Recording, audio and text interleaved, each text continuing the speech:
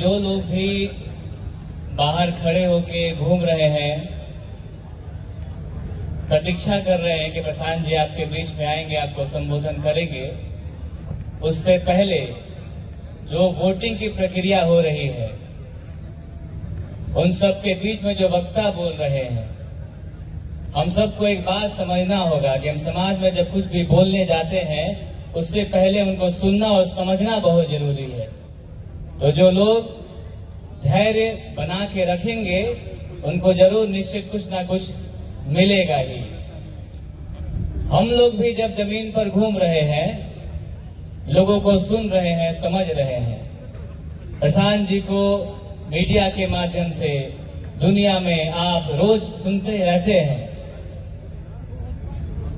उनको महामंडित करने से अच्छा है, उन्होंने जो एक अभियान की शुरुआत की है जिस जन स्वराज की शुरुआत की है अगर उसको आप सिर्फ़ समझ जाएँ, सिर्फ़ उसको समझ जाएँ, उस उद्देश्य को समझ जाएँ, और यकीन है कि जितने लोग यहाँ बैठे हैं वो ज़रूर कहीं ना कहीं प्रभावित है यहाँ बैठे हैं हम समझा समझ के अगर बाकी लोगों को समझा देते हैं उससे बड़ा रिस्पेक्ट प्रशांत किशोर जी के लिए और कुछ नहीं होगा। हम सब इसी प्रयास में लगे हुए हैं। जैसा कि इन्होंने बताया कि हम गीत संगीत करते हैं, बड़े कलाकार नहीं हैं। कुछ लोग मुझे जानते हैं इसमें और ज़्यादातर लोग नहीं जानते हैं। फिर भी अपने शहर में खड़े होके कुछ भी कहने का मौका जब मिलता है तो इंसान ज़रूर नर्वस हो जाता है। हम चाहेंगे कि ठंड के मौसम में जितने लोग भी अपना हाथ दोनों कंधे के बीच में दिए हुए हैं या जैकेट में लगाए हुए हैं, उनकी ज़रूरत थोड़ी देर पड़ने वाली है। थोड़ी देर स्टेज का तापमान गर्म रहने वाला है।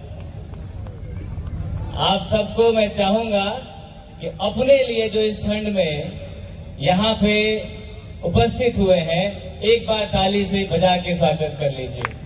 हम प्रशांत जी और उनके सारे पदयात्रियों के तरफ़ से आपका बहुत अभिनंदन करते हैं। एक गीत सुनाने जा रहे हैं। है भोजपुरी में। किसी को अगर अच्छा लगे तो भी अच्छा बुरा लगे तो भी अच्छा लेकिन जब जब जिन जिन लोगों को अच्छा लग रहा हो, तालियों से, शोर से समर्थन ज़रूर दीजिएगा, क्योंकि वही ऊर्जा आपके अभी थोड़ी देर काम आने वाली है। शुरुआत की जाए। पाँच किलो गेहूँ चाउर बाटो तारे मोदी जी।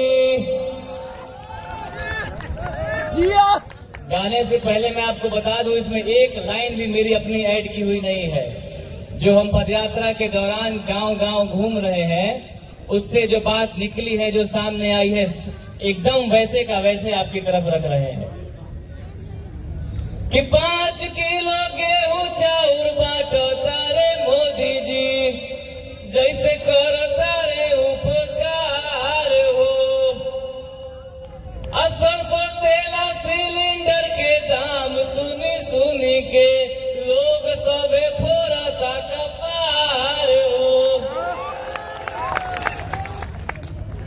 सभे छटपटाता इहवा नार चाहे नारी।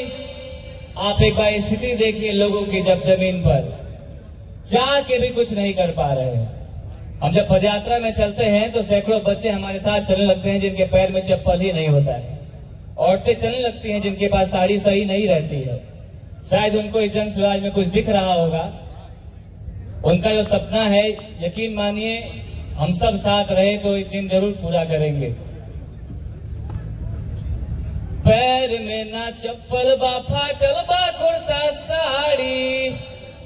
सभे छटपटाता इहवा नार चाहे नारी। पैर में ना चप्पल बा, फाटल बा कुर्ता, साड़ी। अगली लाइन को व्यंग के माध्यम से समझिएगा।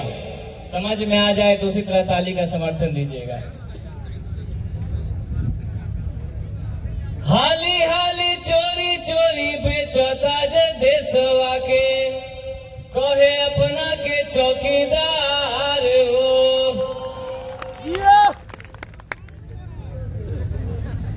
अगली लाइन, एक और व्यक्तित्व है। माननीय, श्री सम्माननीय, अति लोकप्रिय कुर्सी प्रिय श्री नीतीश कुमार जी के बारे में। कि कितना हम करी इंजीनियर नीतीश के बड़ाई।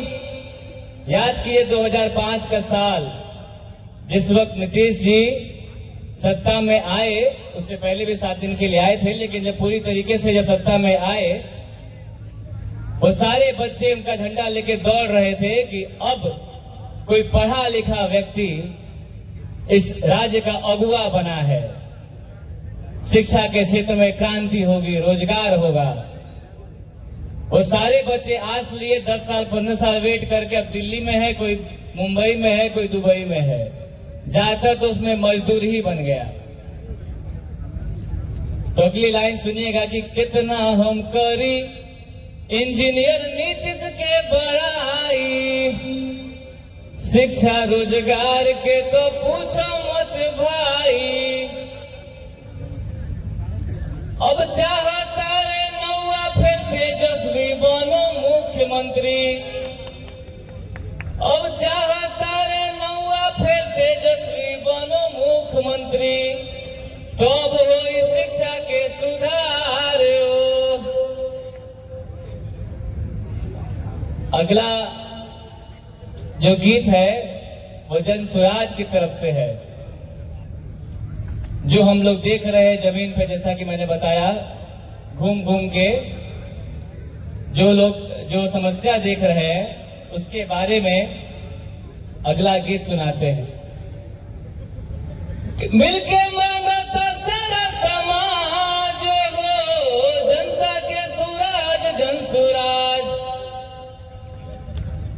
जो लोग फिर से ठंड में ठिकुरने लगे हैं, साथ दीजिएगा तो अगली लाइन।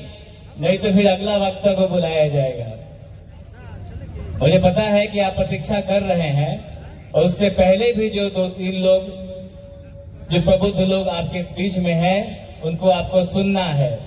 यकीन मानिए, सुनना बहुत ज़रूरी है। ठंड बहुत है, इसका आप सम्मान है कि आप इतनी ठंड में भी यहाँ बैठे हैं और सुनिए मत की पेटी एक तरफ़ आ रही है मतदान के बाद रिज़ल्ट भी आपके सामने आएगा बहुत जल्द। कि मिलके माँगता सारा समाज हो जनता के सूरज जन सूरज। सुनिएगा ध्यान से। अगली समस्या जो बोल रहे हैं, उसमें आपका कलेजा कट के यहाँ आ जाएगा। एक ही समस्या है, जो सबको झकझोर के रखा हुआ है पूरे बिहार को हिला के रखा हुआ है। कि छोट बड़ कोनो काम हो के सरकारी? घूस बिना ले ले सुनत नहीं के अधिकारी। कि छोट बड़ कोनो काम हो के सरकारी? घूस बिना ले ले सुनत नहीं के अधिकारी। इ पाई पाई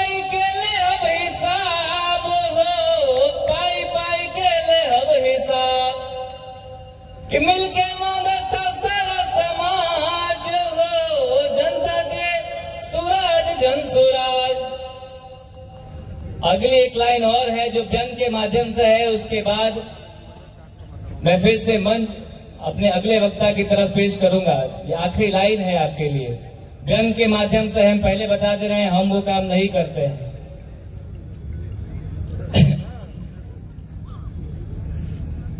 कि मिलके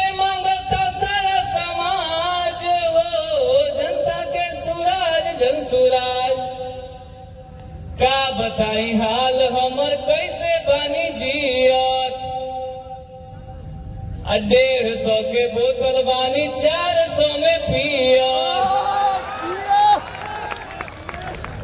का बताई हाल हमर, कैसे बानी जियत आ बंदिए बा डेढ़ सौ के बोतल बानी चार सौ में पियत आ तब नहीं के बुझती पियास, तब नहीं के बुझती पियास। मिलके माँगता सारा